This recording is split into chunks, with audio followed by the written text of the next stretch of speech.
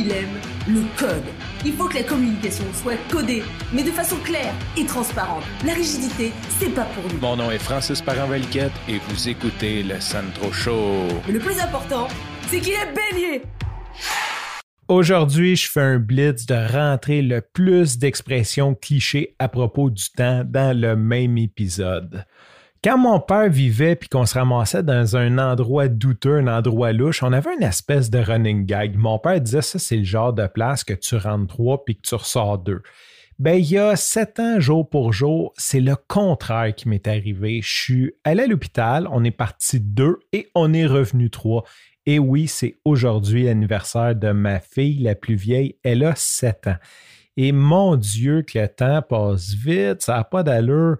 Euh, j'ai rien vu passer. En même temps, quand tu un enfant, c'est un peu un, changement de monde. Hein. C'est comme une explosion d'une bombe nucléaire où on pourrait peut-être même comparer ça au COVID. le COVID, là, présentement, on est dedans, fait qu'on on, réfléchit pas trop à ça mais il va avoir avant COVID, puis il va avoir après COVID. Tu sais, en anglais, là, BC, ça sera plus pour Before Christ, ça va être pour Before COVID, puis AC, ça va être pour After COVID. Tu sais, j'exagère à peine, mais il y a des événements comme ça dans la vie que tout change. Puis là, je ne suis pas en train de comparer un enfant à un virus comme c'est pas que d'avoir un enfant, ça change pour mieux ou pour plus mal. C'est pas ça. C'est que c'est un fait que il y a un changement qui se passe. Il y a une journée que, il y a sept ans, moins un jour, j'écoutais la télé, la seule chose que j'avais à penser, c'était mon moi, mon travail, mes choses.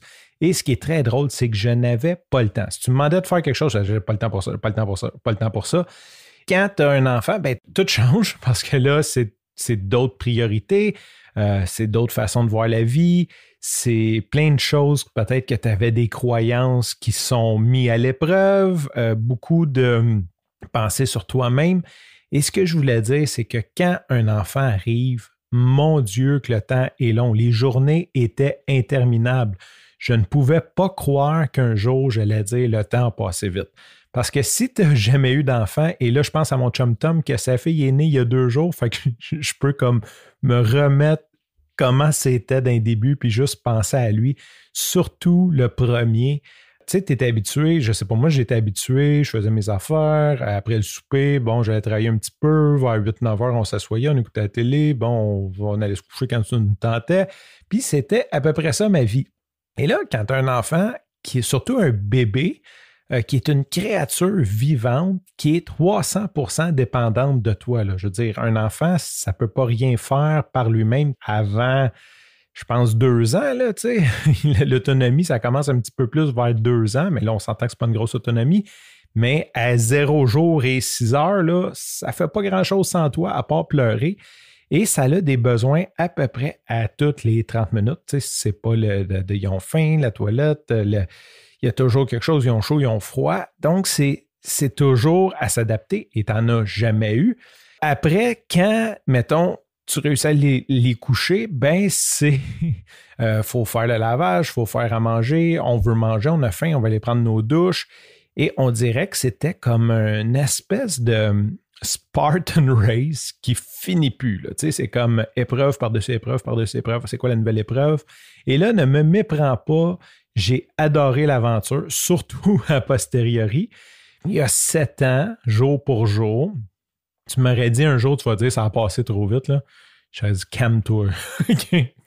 on va juste essayer de survivre aujourd'hui, puis on verra demain ce que j'en pense.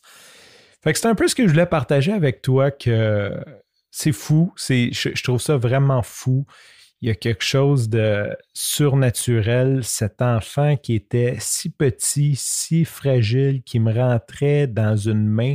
J'ai des photos, je la tiens à une main, tu sais, vraiment, là, tout petite, tout petite, tout petite. Euh, en fait, elle a le poids de mon chat le plus petit. Née, elle avait huit livres. C'était un, tout petit tête, une toute petite créature, toute pas défini. Tu sais, un bébé, là, c'est comme tout, tout est comme sur le primer. Hein, on dirait qu'il n'y a rien de fini.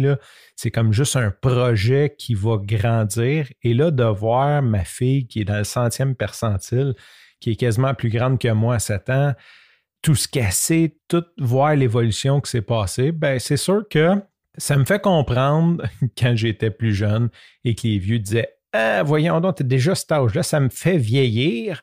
Ben oui, ça fait vieillir. J'ai au moins 7 ans de plus que quand elle est née. Sur ce, je te remercie pour ton écoute. Je te dis à demain et bye bye.